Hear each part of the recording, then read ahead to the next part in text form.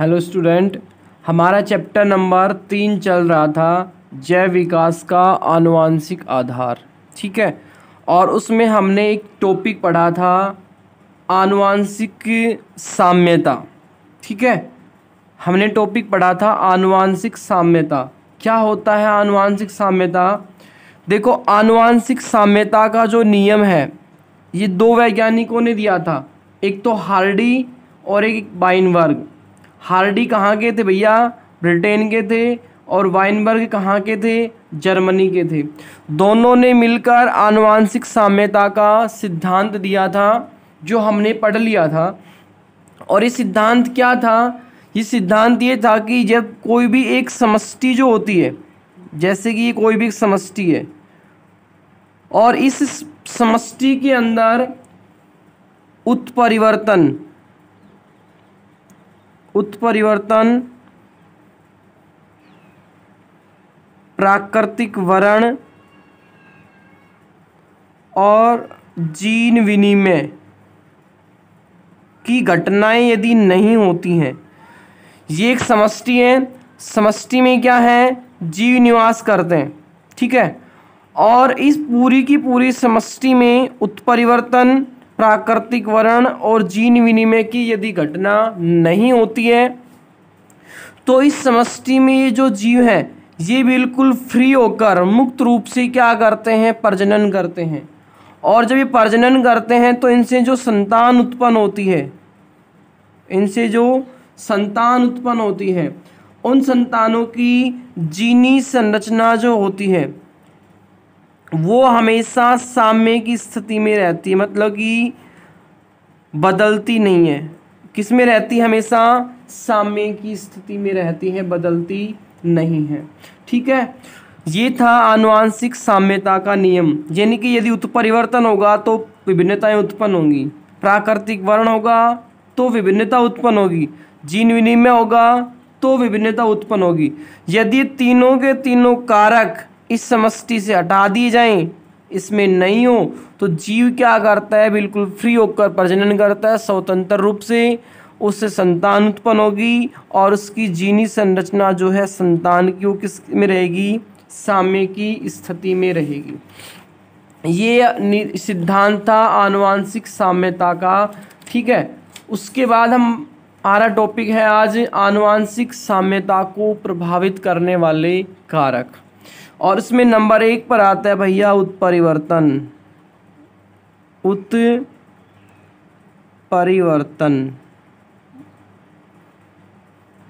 क्या होता है उत्परिवर्तन? देखो।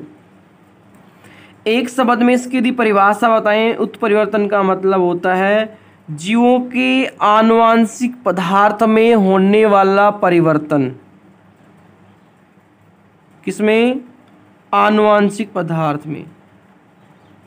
जीवों के आनुवांशिक पदार्थ में होने वाला परिवर्तन उत्परिवर्तन कहलाता है। या फिर हम दूसरे शब्दों में ऐसे भी बोल सकते हैं, जीव के शरीर में होने वाले ऐसे आनुवांशिक परिवर्तन जिसके कारण जीव के लक्षण प्रारूप अनुपात व जीन प्रारूप अनुपात क्या हो जाते हैं भैया? बदल जाते हैं। क्या कहलाता है? उत्परिवर्तन कहलाता है। उत्परिवर्तन के कारण जीव की जीनी संरचना क्या होती है? बदलती है। जीव की जीनी संरचना बदलती है, जिसके कारण आनुवांशिक साम्य जो है, वो भी क्या हो जाता है? बदल जाता है। और जब आनुवांशिक साम्य बदल जाता है, इसका मतलब कि आनुवांशिक साम्य, साम्यता में नहीं रहता है। कन्वर्ट हो गया है चेंज हो गया है। आनुवांशिक साम्य कब होता है? जब उसके अंदर किसी भी प्रकार की बाह्य कारक जो उत्प मतलब कि विभिन्नताएँ उत्पन्न करते हैं, वो सभी यदि अनुपस्थित होते हैं तो जीव क्या करते हैं? प्रजनन करते हैं स्वतंत्र रूप से और उनसे उत्पन्न होने वाली संतान में जीनी संरचना जनक के समान रहती है। लेकिन यदि उत्परिवर्तन होगा तो जीनी संरचना क्या होगी? बदलेगी। और जीनी संरचना बदलेगी तो आनुवांशिक साम्य क्या हो जाएगा? बदल जाएगा। उसके बाद नंबर दो। वर्णात्मक प्रजनन। वर्णात्मक प्रजनन। देखो, क्या होता है? यदि किसी समष्टि में प्रजनन जो होता है, वो मतलब कि मुक्त रूप से ना हो। मुक्त रूप से न होकर क्या होता है? वर्णात्मक रूप से होता है मतलब कि चयन कर कर के होता है। यदि किसी समष्टि में प्रजनन की क्रिया मुक्त रूप से ना होकर कैसे होती है? वर्णात्मक रूप से, यानी कि चयन करके होती है। तो आनुवांशिक साम्य भैया क्या होगा? डेफिनेटली क्या होगा? परिवर्तित होगा।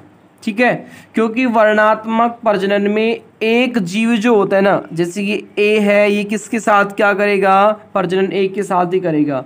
जैसे कि ये समष्टि है। और समष्टि में क्या होते हैं, जीव होते हैं। A, capital A, small A, capital B, small B. ठीक है? और ये क्या करते हैं? मुक्त रूप से प्रजनन करते हैं। जब तो आनुवांशिक साम्य क्या रहता है? बना रहता है। लेकिन यदि कोई एक जीव, एक विशेष जीव के साथ ही क्या करता है? प्रजनन की क्रिया करता है तो आनुवांशिक साम्य क्या हो जाएगा? बदल जाएगा। देखो, यदि किसी समष्टि में समजीनी प्रभावी समजीनी प्रभावी, समझीनी का मतलब कि समान एलिल वाले प्रभावी का मतलब कैपिटल ये मान के चलो ये। एक हो गया भैया विषमजीनी कैपिटल बी स्मॉल बी एक हो गया भैया समजीनी अप्रभावी, स्मॉल अप्रभावी में स्मॉल वाले, ठीक है। यानी कि ये एक समष्टि में तीन प्रकार के जीव क्या करते हैं, निवास करते हैं। और ये वाला जब है, ये सिर्फ़ इसी के साथ में ही क्या करेगा? मतलब कि विशेष इसके साथ में क्या करेगा? प्रजनन की क्रिया करेगा। तो धीरे धीरे इनकी संख्या क्या होती जाएगी? समष्टि में बढ़ती जाएगी और इनकी क्या होती जाएगी? कम होती जाएगी, जिसके कारण आनुवांशिक साम्य बदल जाता है। ठीक है? तो नंबर दो क्या हो गया? वर्णात्मक प्रजनन। नंबर तीन। नंबर तीन पर आता है समष्टि का आकार। समष्टि का आकार। देखो, समष्टि का आकार भैया जितना ज़्यादा बड़ा होगा, समष्टि का आकार जितना ज़्यादा बड़ा होगा, समष्टि में मुक्त प्रजनन उतना ही ज़्यादा होगा। समष्टि में मुक्त प्रजनन उतना ही क्या होगा? ज़्यादा होगा। लेकिन समष्टि का आकार यदि छोटा है तो उसमें प्रजनन कैसा होगा? वो होगा वर्णात्मक प्रजनन। कैसा होगा भैया? वर्णात्मक, यानी कि सिलेक्ट कर करके चयन कर करके। और जब मुक्त प्रजनन होता है तो इनका मतलब कि जो आनुवांशिक साम्य है, वो बना रहता है। आनुवांशिक साम्य बना रहता है। लेकिन यदि वर्णात्मक प्रजनन होता है तो आनुवांशिक साम्य क्या होता है भैया? बदल जाता है। ठीक है? यानी कि समष्टि का आकार यदि बड़ा है तो मुक्त रूप से प्रजनन मिलेगा। यदि समष्टि का आकार छोटा है तो उसमें वर्णात्मक प्रजनन होगा, जिसके कारण आनुवांशिक साम्य परिवर्तित हो जाएगा। जैसे कि एक सिक्के को हम लगभग मतलब कि सौ बार क्या करते हैं? उछालते हैं एक सिक्के को। तो उसके अंदर फिफ्टी परसेंट हेड और फिफ्टी परसेंट टेल आने की संभावना होती है। लेकिन यदि हम सिक्के को सिर्फ़ तीन से चार बार उछालते हैं तो फिफ्टी परसेंट हेड और फिफ्टी परसेंट टेल आने की संभावना नहीं होती है। यदि हमने सिक्के को चार बार उछाला, हो सकता है कि चार बार टेल आ जाए, तीन बार टेल आ जाए, एक बार टेल आए। यानी कि यहाँ पर उसमें संभावनाएँ फिफ्टी फिफ्टी परसेंट नहीं होती हैं। लेकिन यदि उसको सो बार उछालेंगे तो फिफ्टी फिफ्टी परसेंट हो सकता है फिफ्टी वन टाइम्स टैल आ जाए फोर्टी नाइन पर टाइम हेड आ जाए। ऐसा होता है यानी फिफ्टी फिफ्टी होने की संभावना होती है। मतलब कि समष्टि का आकार जितना ज़्यादा बड़ा होगा, मुक्त प्रजनन उतना ही ज़्यादा होगा। छोटा होगा, वर्णात्मक प्रजनन होगा, जिसके कारण उसमें क्या होगा, आनुवांशिक साम्य परिवर्तित होगा। Next number four number four पे आता है प्राकृतिक चयन। प्राकृतिक चयन। ये आप पढ़ते आ रहे हो पिछले चैप्टर से भी। कि प्रकृति केवल उन्हीं जीवों का चयन करती है, जो वातावरण के अनुकूल होते हैं और ऐसे जीव जनन करते हैं और अपनी संख्या में वृद्धि करते हैं। अनुकूल जीव वातावरण के अनुकूल होने के लिए क्या करते हैं? विभिन्नता उत्पन्न करता है। जिससे लाभदायक विभिन्नताएँ पीढ़ी दर पीढ़ी वंशानुगत होती हैं और जीव जो है वो धीरे धीरे क्या करते जाते हैं, वृद्धि करते जाते हैं, उनकी संख्या बढ़ती जाती है।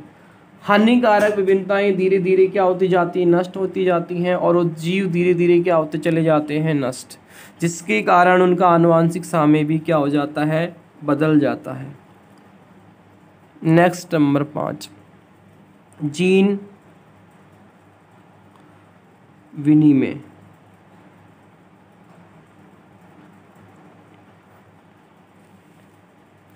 जीन विनिमय क्या होता है? जीन विनिमय होता है अर्धसूत्री विभाजन में।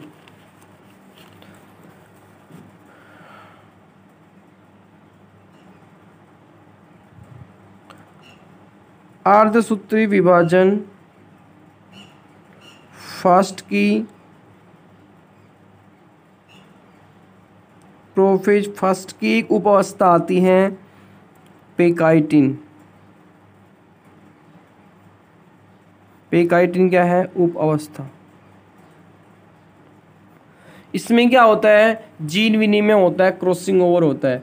और इस समय, इस अवस्था में जीन जो होते हैं, वो क्या होते हैं? परिवर्तित होते हैं। जीवों जीनों का क्या होता है? आदान प्रदान होता है। जिससे बनने वाली जो संतति होती है उसके अंदर जीनी संरचना क्या हो जाती है? बदल जाती है। और जब जीनी संरचना बदल जाती है तो उसका आनुवांशिक साम्य भी क्या हो जाता है? बदल जाता है। आनुवांशिक साम्य भी बदल जाता है।